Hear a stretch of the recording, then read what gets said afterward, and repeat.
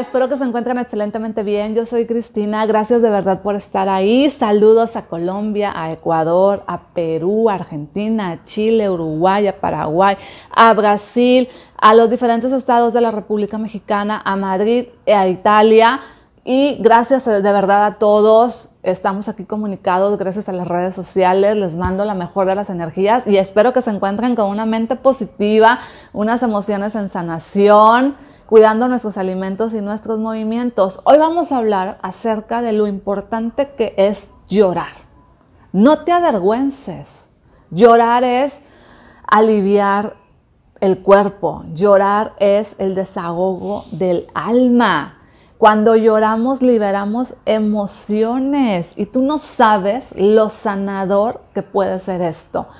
Yo que practico sanación con energía, hacemos desbloqueos energéticos y en esos desbloqueos energéticos, en esas sanaciones, las personas pueden llorar.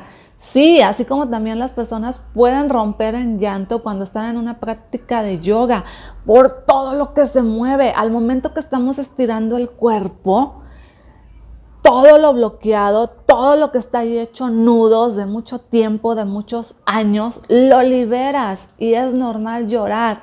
A mí aún me pasa, aunque he estado practicando en los últimos 15, 16 o 17 años de mi vida yoga, ya estoy perdiendo la cuenta. Este, a veces en mi práctica, claro que lloro, porque somos seres emocionales, porque vivimos en un planeta Tierra y el planeta Tierra es emocional. Aquí vivimos emociones, a eso venimos a este mundo terrenal, a vivir las emociones. Y es lo que se va a llevar nuestra alma. La memoria del alma, los famosos registros akáshicos, es el registro de todas las emociones que tú has vivido a lo largo de tus vidas. Entonces es muy importante cuidar nuestro estado emocional y nuestro estado mental, ir purificando, ir limpiando, ir liberando para irnos lo, más sanos que podamos cuando nos toque realizar la transición al mundo espiritual. Entre más sanemos, vamos a estar más conscientes. Y entre más conscientes seamos, vamos a respetarnos más a nosotros mismos como personas, como individuos y vamos a respetar más a las personas de nuestro entorno.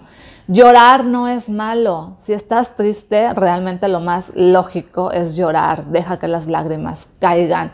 Probablemente te da pena, vergüenza llorar. Probablemente te dijeron que llorar era malo porque mostrabas debilidad. No deja esas creencias, libérate de esas creencias. Cambia tus creencias y quítate esa barrera que te impide expresar de forma natural tus sentimientos de tristeza o de aflicción. Porque si no lo haces, todas esas emociones se quedan y se van transformando en algo dañino para nuestro cuerpo y se generan cargos de conciencia. Todos los seres humanos estamos capacitados para llorar, es algo natural, como ir al baño a cagar o a mear, así de simple. Es algo natural. Y el llorar nos ayuda a liberar estrés, angustia, preocupación y ansiedad, ofreciéndonos un sinnúmero de bondades. Llorar no es malo, debemos de quitarnos eso de la cabeza. Llorar es el alivio del alma, en un proceso de duelo hay que llorar, tenemos que sanar nuestro interior. Olvídate de esos dimes y diretes de que los hombres no lloran. Llorar solo te hace ver débil o llorar es malo. En este siglo realmente todo eso es un ridículo.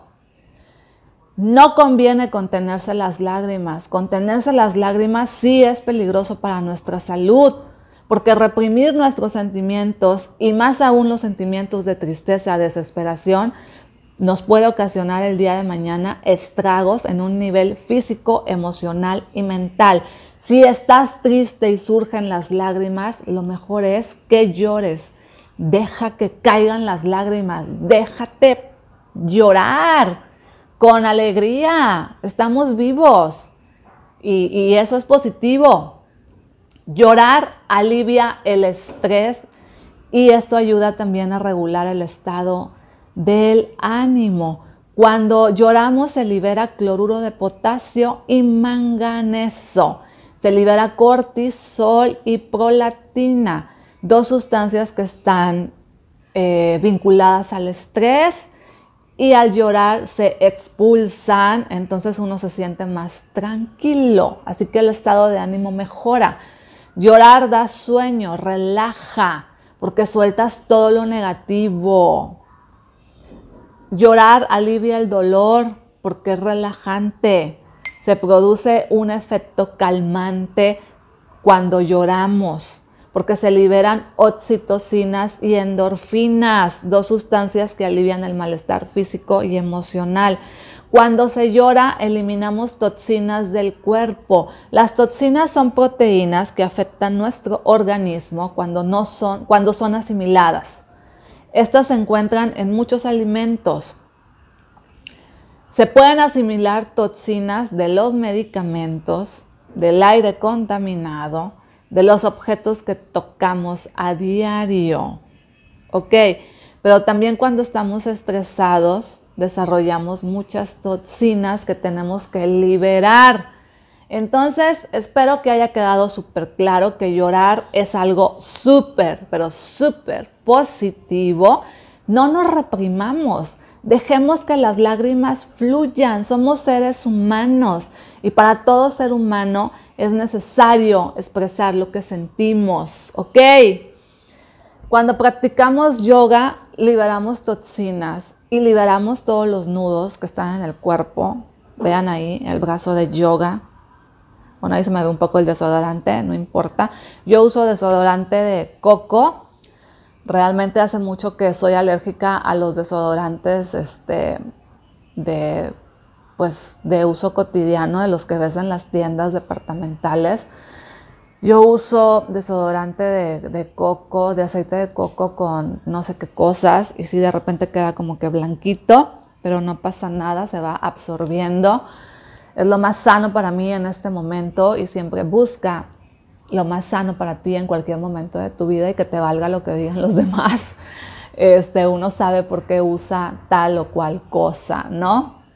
y al final del día es cuidar nuestra salud. Pero bueno, regresando al tema, si te cuesta trabajo llorar, es porque has reprimido muchas emociones y tienes que conectar con algo, con alguna música.